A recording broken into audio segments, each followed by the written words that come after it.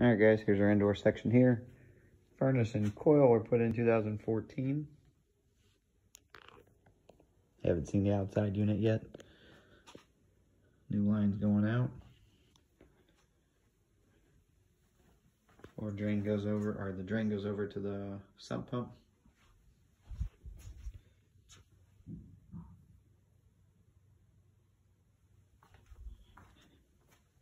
Twenty by twenty by one filter We'll connect to the existing ductwork. No walkout, so steps are there, which goes right to the garage. Panels over here.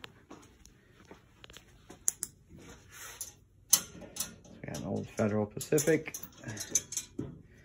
Air conditioner's marked right there.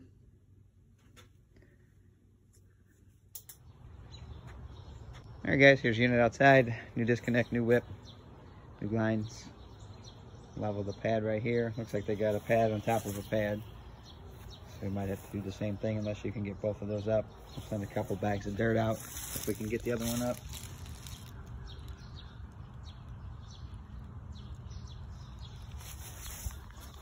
Short line set run, about 10 feet inside.